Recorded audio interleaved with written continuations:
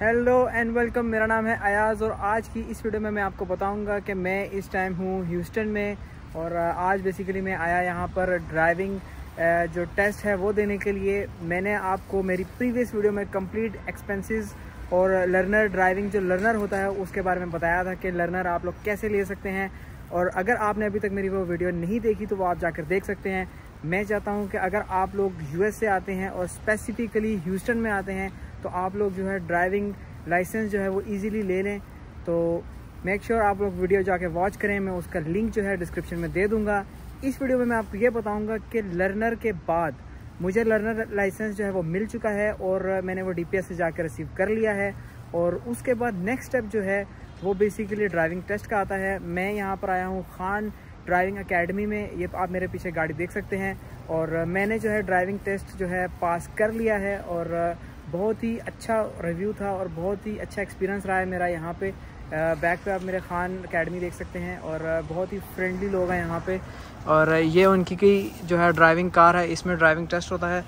और बेसिकली यहाँ पे जो है आपने ये टेस्ट देना है और ये टेस्ट देने के बाद आपको वो एक सील एनवलप देंगे।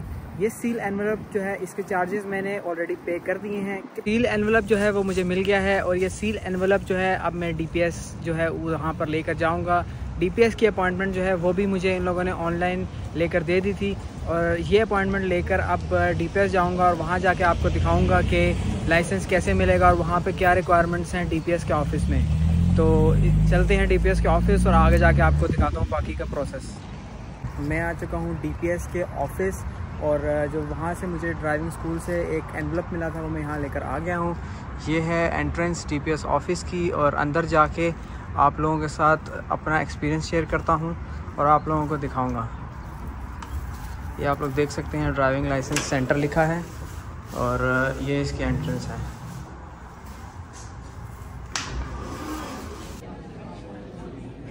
Now serving T015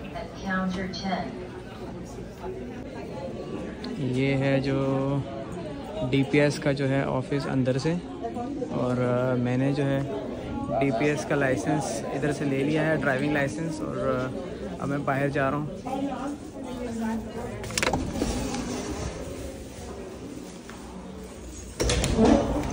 फाइनली आप लोगों से शेयर करूँगा कि डीपीएस के ऑफ़िस में जब मैंने लाइसेंस अप्लाई करने के लिए, पक्का वाला लाइसेंस अप्लाई करने के लिए यहाँ पे आया तो उन्होंने मेरे से कुछ डॉक्यूमेंट्स रिक्वायर किए। फ़र्स्ट डॉक्यूमेंट जो था वो लाइक जो एनवलप था रिज़ल्ट का, जो ड्राइविंग टेस्ट का था, मुझे जो ड्राइविंग स्कूल से मिला था, वो मैंने इनको प्रोवाइड किया यहाँ पे। उसके बाद इन्होंने अगर आप विज़िट वीज़ा पे आते हैं तो आपका आई नाइन्टी फोर मांगेंगे। अगर आप स्टूडेंट वीज़ा पर हैं, यहाँ पे स्टडी कर रहे हैं तो आपका आई ट्वेंटी मांगेंगे। तो इस तरह जो भी आपका लीगल डॉक्यूमेंट है, वो यहाँ पे आपसे मांगेंगे।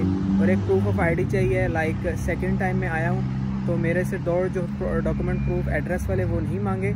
लेकिन पासपोर्ट ज़रूर मांगा है उन्होंने, कि उसने उन्होंने इस पर आइडेंटिटी कंफर्म करनी है, कि लाइक नाम और डेट ऑफ़ बर्थ और हर चीज़, और वीज़ा ये करने के बाद डीपीएस ऑफ़िस से जो है टैक्सीस के, वो मैं बाहर आ गया और फाइनली जो है उन्होंने मुझे एक पेपर दिया और जिस पेपर के ऊपर ड्राइविंग लाइसेंस का नंबर है और वो एज अ ड्राइविंग लाइसेंस ही है टिल जो ओरिजिनल ड्राइविंग लाइसेंस है वो आएगा मेल में और तब तक मैं इस और इस लाइक जो पेपर ड्राइविंग लाइसेंस है हार्ड कॉपी इसके ऊपर चला सकता हूँ गाड़ी। तो ये था सिंपल सा प्रोसेस अगर आपको कोई भी डाउट हो और आप मुझे कमेंट सेक्शन में पूछ सकते हैं। हाँ एक चीज़ आपको ज़रूरी बताता चलूँ कि लास्ट टाइम जब मैंने आया था डीपीएस के ऑफ़िस तो मैंने थर्टी थ्री डॉलर्स पे किए थे लर्नर परमिट के लिए। और यहाँ पे मैंने, इन्होंने मेरे से अगेन एलेवन डॉलर्स चार्ज किए, जो कि पक्के वाले ड्राइविंग लाइसेंस के लिए है। वो ड्राइविंग लाइसेंस तब तक वैलिड होगा जब तक आप यूएस में लीगल अलाउ है आपको रहना, आपका जो लीगल परमिट है वो वैलिड है। और इसी के साथ मिलते हैं एक नेक्स्ट वीडियो में। तब तक के लिए बेस्ट ऑफ़ लक और गुड बाय